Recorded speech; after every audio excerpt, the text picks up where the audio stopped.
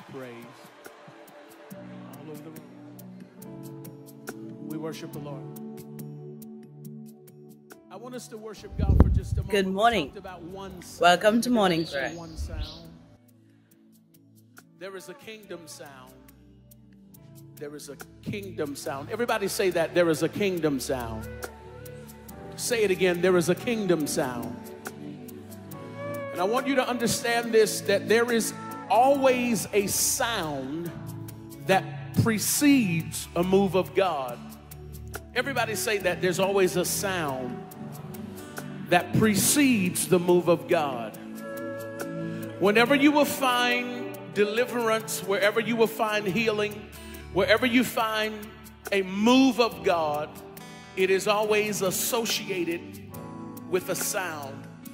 I want us to take just maybe 30 seconds and we're to we're to sing this song. We're to raise it as an offering to the Lord, but I want us to take about maybe just 30 seconds if you will. Brother, I just want you to minister on that on that guitar. I want you to raise your hands in his presence and let's just worship God all over this room. Come on, everybody, let's worship God all over this room. Hallelujah.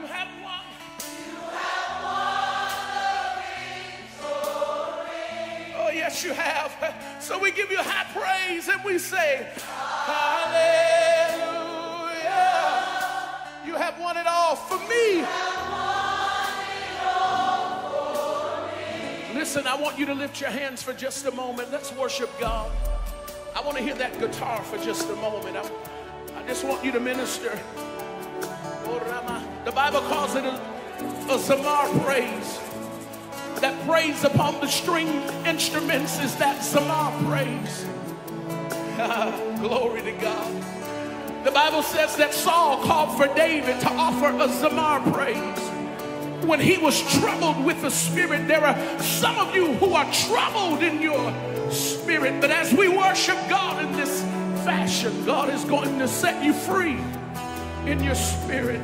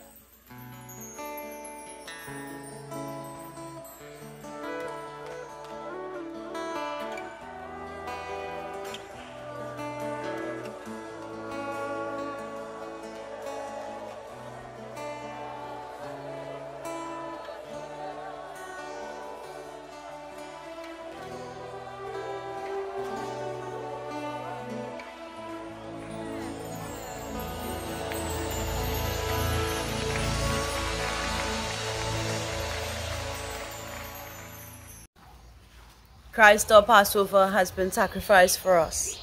Therefore, let us keep the feast. Alleluia. Blessed be the Lord our God, by whose grace we are yet alive.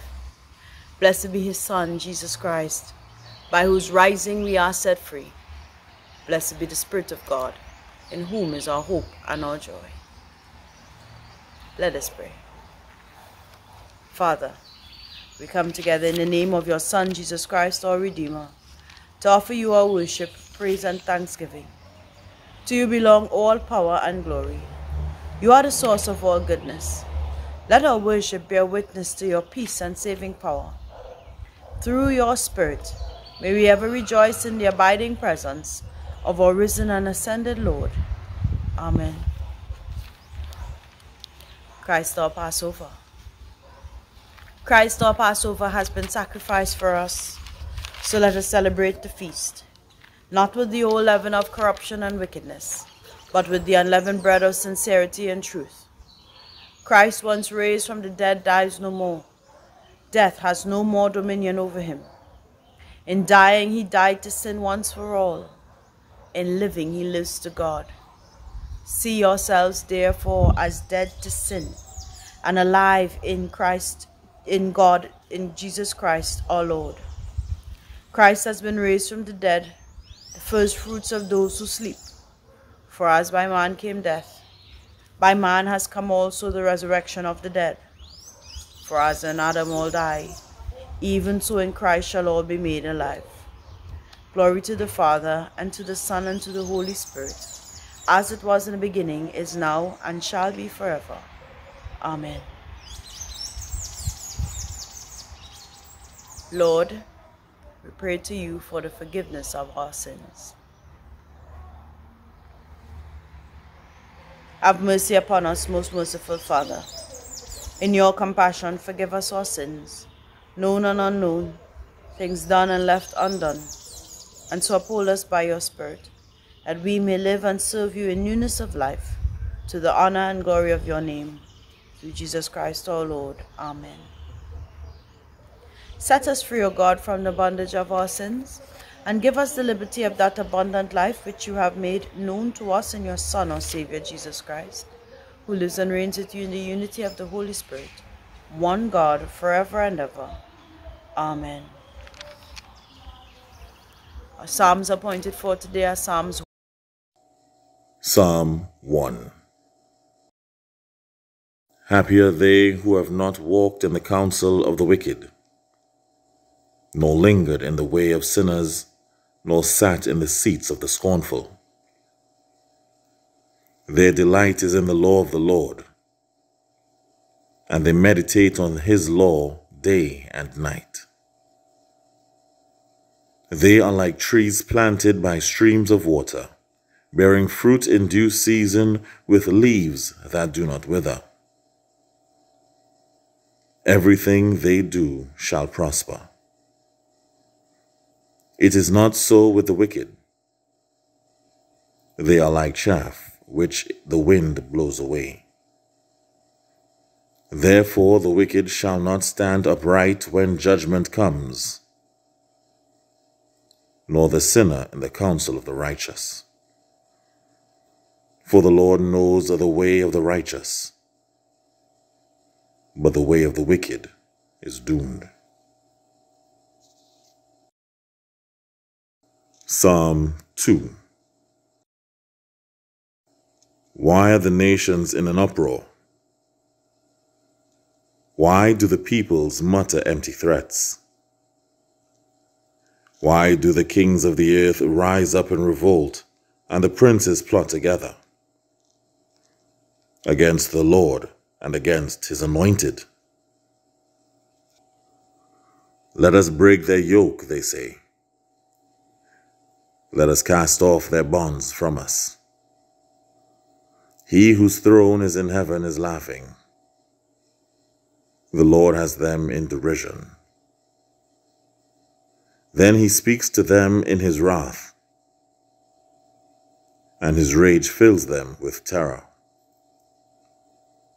I myself have set my king upon my holy hill of Zion. Let me announce the decree of the Lord.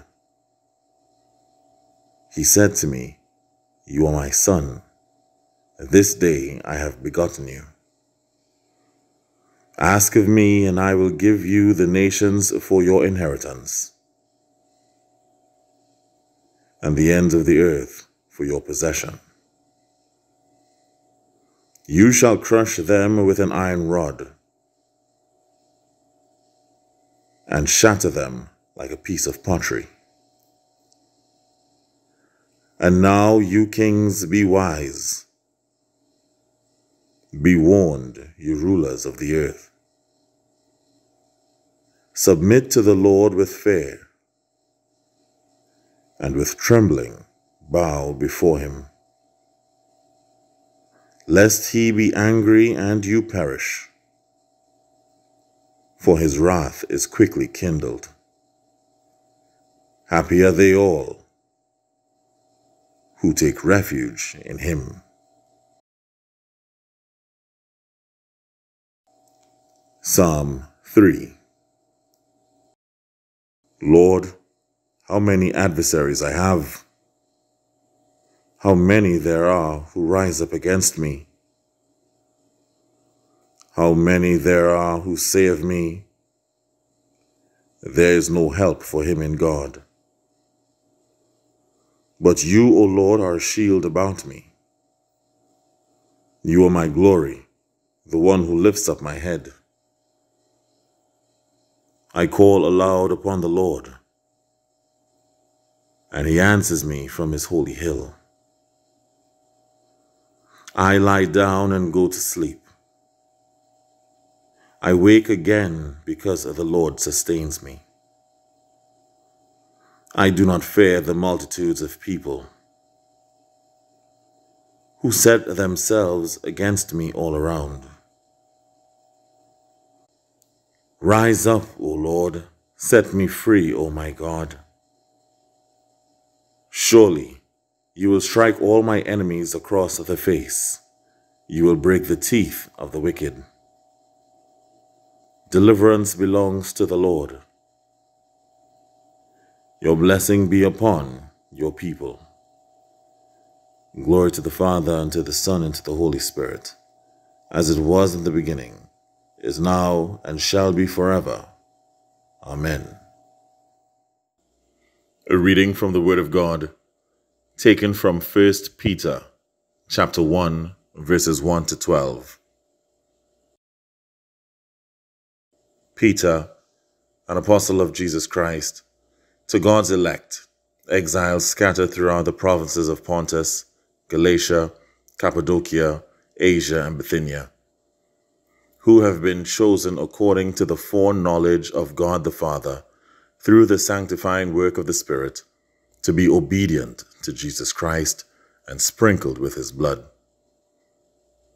Grace and peace be yours in abundance. Praise be to the God and Father of our Lord Jesus Christ. In his great mercy, he has given us new birth into a living hope through the resurrection of Jesus Christ from the dead, and into an inheritance that can never perish, spoil, or fade.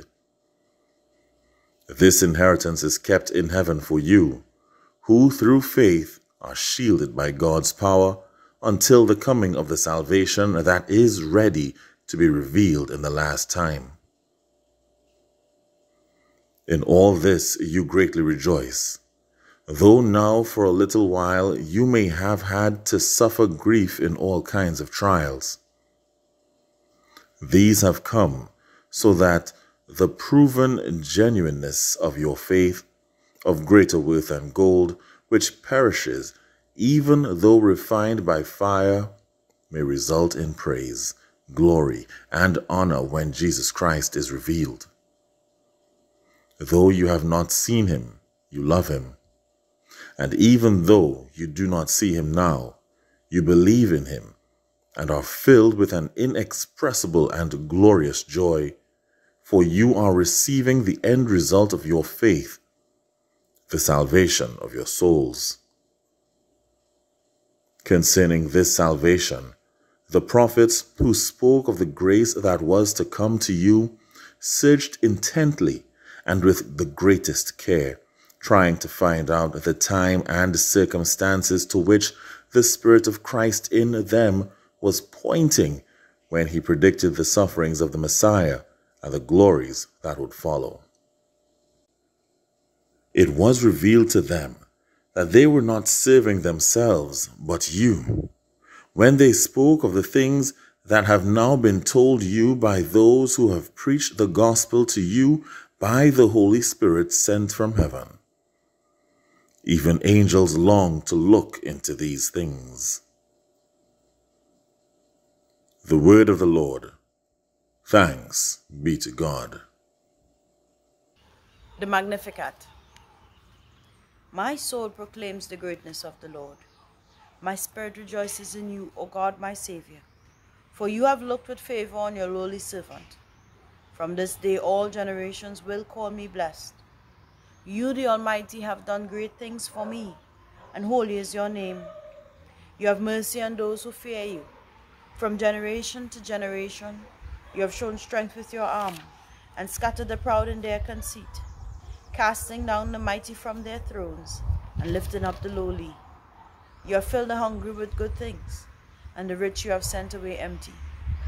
You have come to the help of your servant Israel, for you have remembered your promise of mercy, the promise made to our forebears, to Abraham and his children forever.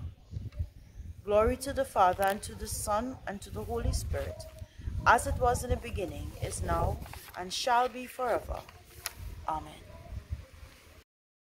Today's feast commemorates how God made known to a young Jewish woman that she was to be the mother of his son, and how Mary accepted her vocation with perfect conformity of will. It has been said, God made us without us, and redeemed us without us, but cannot save us without us. Mary's assent to Gabriel's message opened the way for God to accomplish the salvation of the world. It is for this reason that all generations are to call her blessed. The Annunciation has been a major theme in Christian art in both East and West. Innumerable sermons and poems have been composed about it. The term coined by Cyril of Alexandria for the Blessed Virgin, Theotokos, the God bearer, was affirmed by the General Council of Ephesus in 431. Mary's self offering in response to God's call has been compared to that of Abraham, the father of believers. Just as Abraham was called to be the father of the chosen people, and accepted his call. So Mary was called to be the mother of the faithful, the new Israel. She is God's human agent in the mystery of the incarnation. Her response to the angel, Let it be to me according to your word, is identical with the faith expressed in the prayer that Jesus taught Your will be done on earth as in heaven. Gerard Manley Hopkins, comparing Mary to the air we breathe, writes Wild air, world mothering air. Of her flesh, he took flesh. He does take fresh and fresh. Though much the mystery how, not flesh, but spirit now, and makes, O marvelous, new Nazareths in us, where she shall yet conceive him morning, noon, and eve. New Bethlehems, and he born there, evening, noon, and morn. Our memory verse for today and this week comes from Psalm chapter 2, verse 13. Happy are they all who take refuge in the Lord. Happy are they all who take refuge in the Lord. Happy are they all who take refuge in the Lord. Psalm 2, verse 13. And I just want us to ponder that for this week. Who is this God? And do you know him? Do you know him? In John chapter 14, verse 9, Jesus is having this conversation with Philip, and uh, Philip says to him, Well, show us the Father. And Jesus says, in a somewhat rhetorical sense, He says, I've been with you so long. You still do not know me? Do you still not know me? Who is this God? Do you know him? My brothers and sisters in Christ, it's a very important question that we should be asking ourselves. Do I know him? That's the question you should be asking. You know, the thing about being Anglican or being human, we have the ability to think. And as Anglicans, we, we, we thrive on one of the three stools called reason. to reason, you have to ask questions. You have to inquire. You have to be desirous of that knowledge. You know, there's a scripture that, that says, well, two, two parts in scripture in Hosea and um, even in Proverbs that talk about my people perish for a lack of knowledge. Um, in Proverbs, it's for a lack of wisdom. But you, you have to want it. For many of us, we go through the motions. I'm not saying this is what was happening with Jesus and his disciples. I was not there, nor do I know the mind of Philip. But we can consider Jesus' statement in that he's saying, I've been with you so long. He journeyed with them. He taught them. They lived together. They ate together. He was teaching them. They had a relationship. And yet, throughout scripture, we hear random questions or conversations, and it, they were still lacking in knowledge. I mean, this tells us that we would never know all about God, but we should be desirous of knowing about some of God. Who is this God? We should be asking that question. For our faith to, to grow, for us to really live that abundant life, that eternal life, that prosperous life, that where we can take refuge in God. We have to be desirous of God. We have to know God. We have to learn about Him so that we can grow in trust in Him.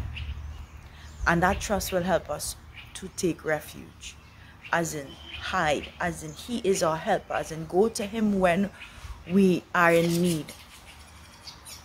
Shelter, protector. You know, we would think that sometimes we would think that we know this God we know of Him, but do we know Him? And it's not that we're trying to find out all about God, but just gradually, step by step, learn some little things.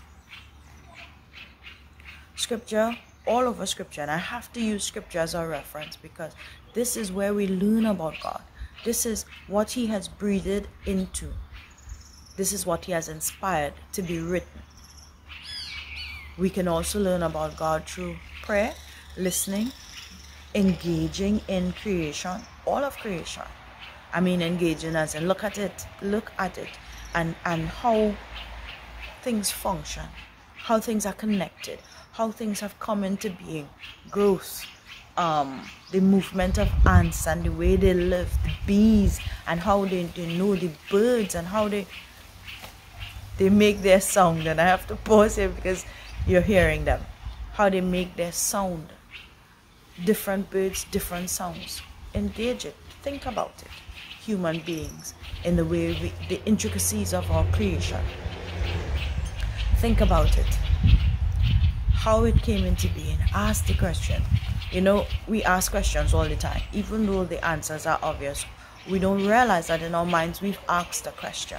And so, for example, you I was um looking at the the flyover, the in, the the flyover that that was just built here in Trinidad, and I'm thinking, wow, I wonder why they built that flyover.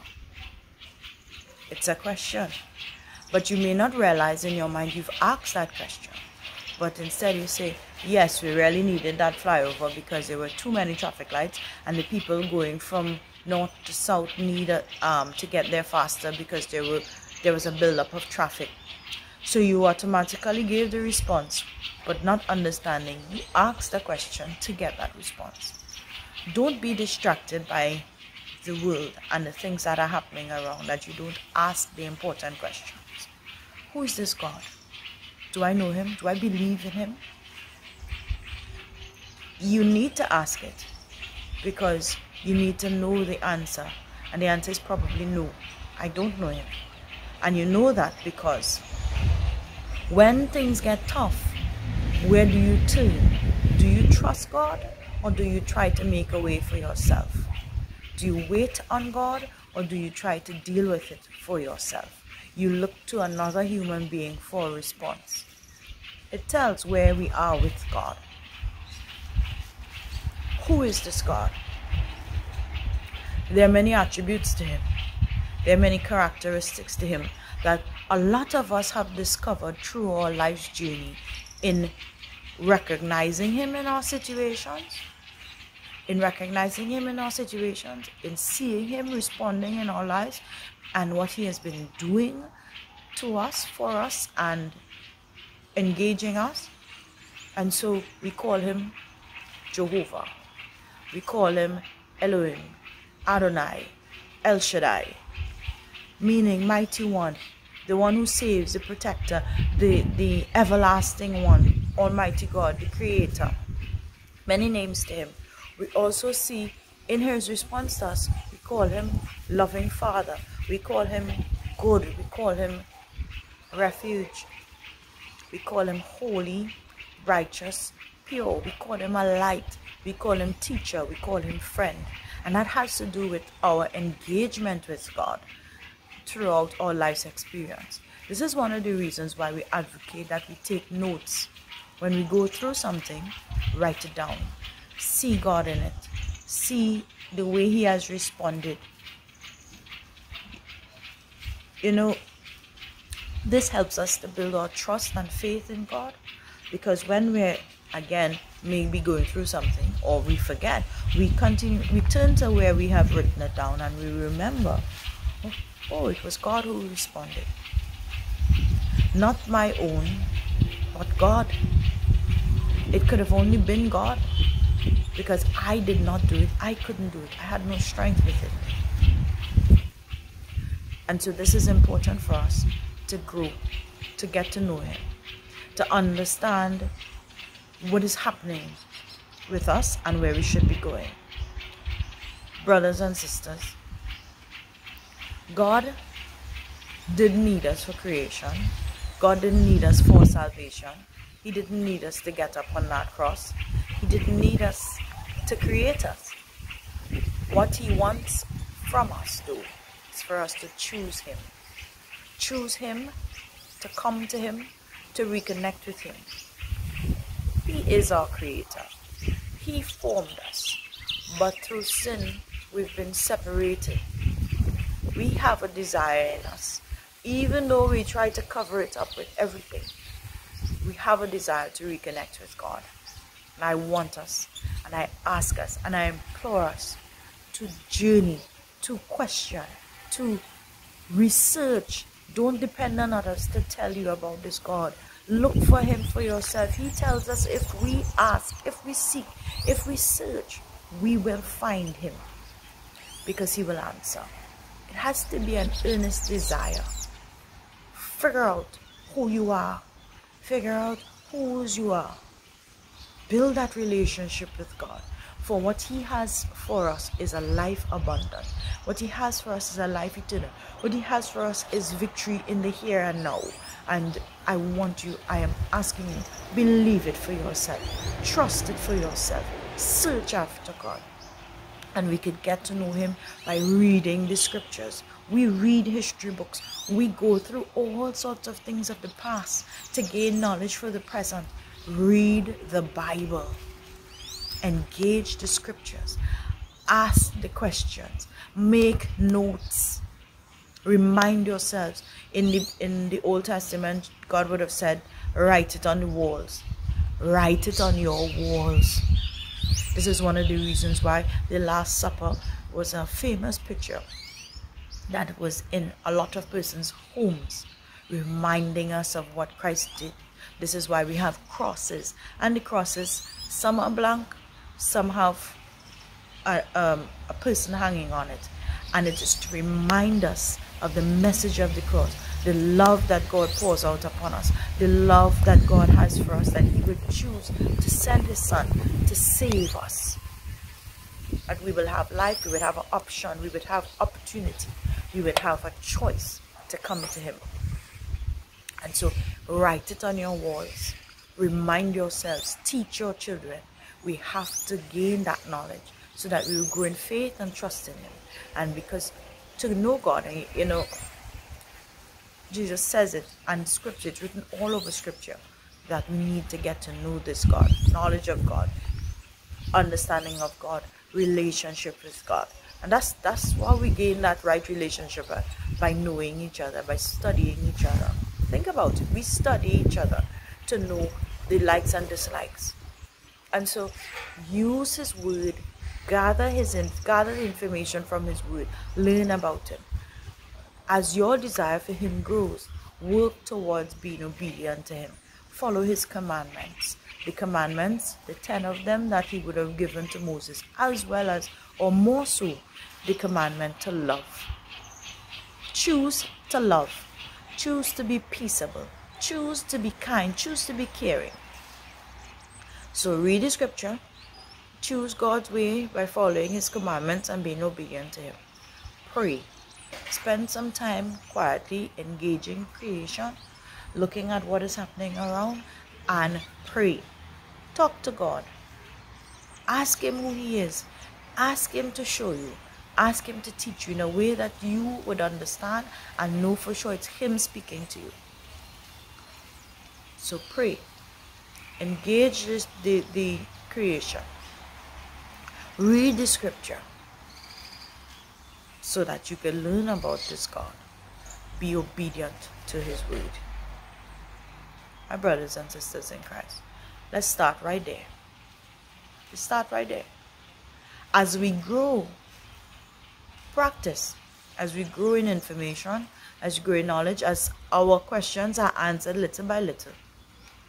Practice speaking God's word, calling God's name, praying openly and outwardly.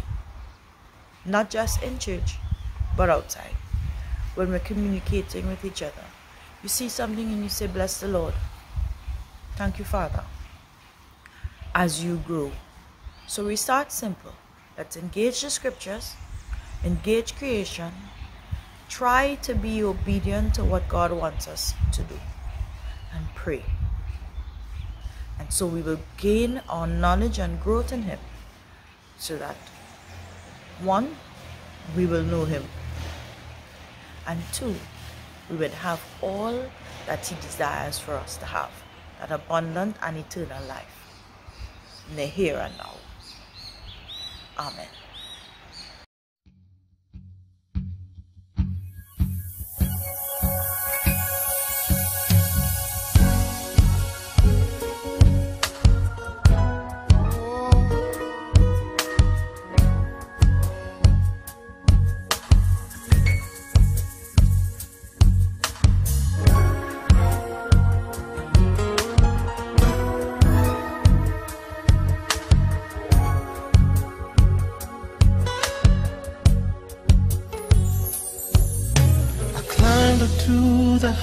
Highest mountain.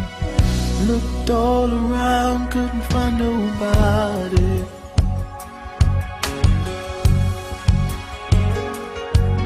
Went down into the deepest valley. Looked all around down there, couldn't find nobody.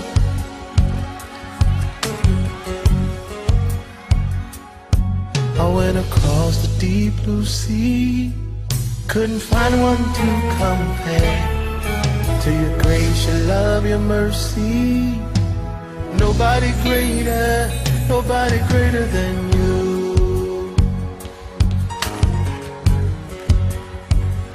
Searched all over, couldn't find nobody. I looked high and low, still couldn't find nobody. Nobody greater, nobody greater, no, nobody greater than you. I searched all over, couldn't find nobody. I looked high and low, still couldn't find nobody. Nobody greater. Nobody greater, nobody greater than you.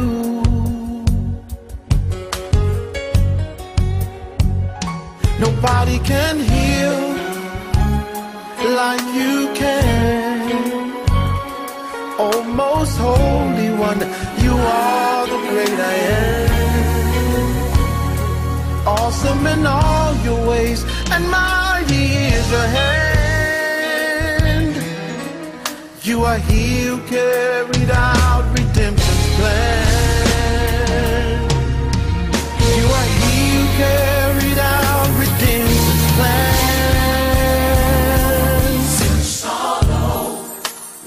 Couldn't find nobody. I looked high and low, still couldn't find nobody. Nobody great. Greater, Jesus. Nobody greater than you. Search all over. Search all over. Couldn't find no. Couldn't find nobody.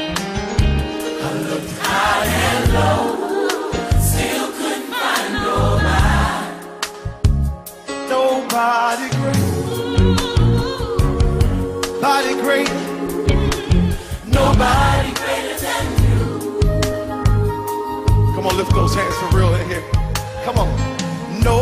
Nobody greater. Nobody greater, Jesus. Nobody greater than you. Nobody greater. Nobody greater. Nobody greater. No. Nobody greater than you. Now lift those hands, singers, and let's just give him the glory. Nobody greater. Nobody greater. Couldn't find nobody.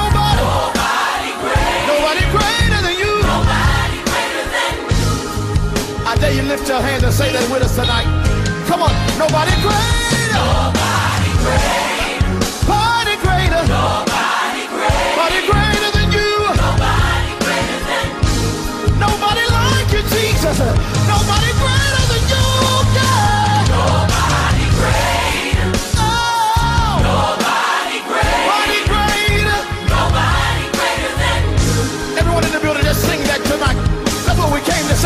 Nobody greater. Nobody greater. No matter where you look or where you go.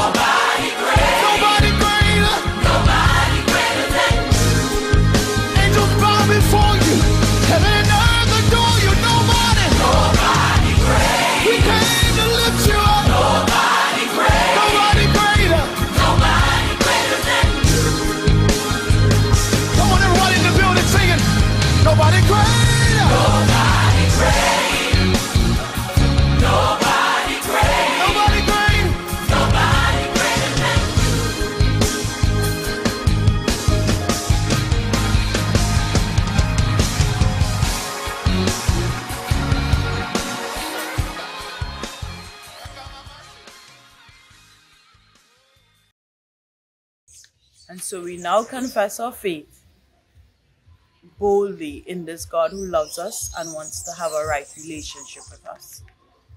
I believe in God, the Father Almighty, creator of heaven and earth. I believe in Jesus Christ, his only Son, our Lord. He was conceived by the power of the Holy Spirit and born of the Virgin Mary.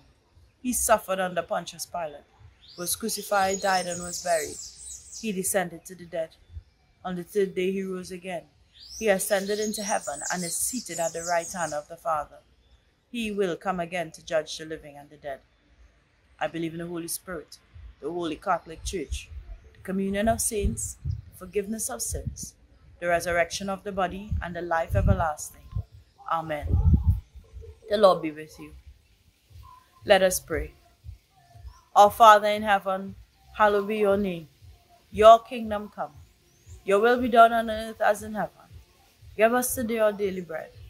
Forgive us our sins as we forgive those who sin against us. Save us from the time of trial and deliver us from evil. For the kingdom, the power, and the glory are yours, now and forever. Amen. Show us your mercy, O Lord, and grant us your salvation. Clothe your ministers with righteousness, and let your people sing with joy.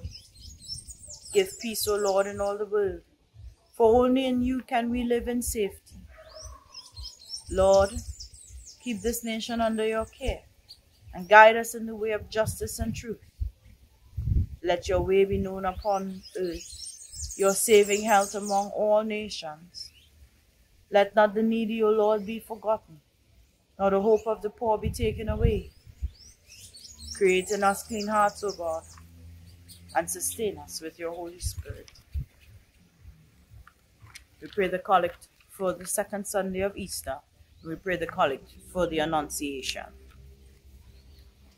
Almighty and everlasting God, who in the Paschal mystery established the new covenant of reconciliation, grant that all who have been reborn into the fellowship of Christ's body may show forth in their lives what they profess by their faith.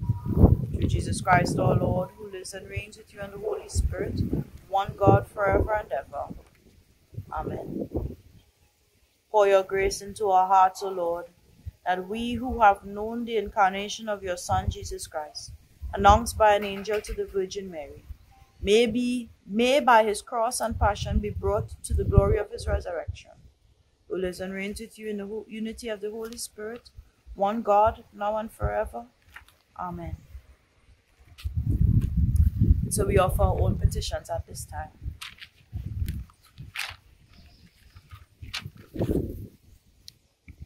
Prayer dedication. Almighty God, we thank you for the gift of your holy word. May be a lantern to our feet, a light to our paths, and a strength to our lives. Take us and use us to love and serve all persons in the power of the Holy Spirit, and in the name of your Son, Jesus Christ our Lord. Amen.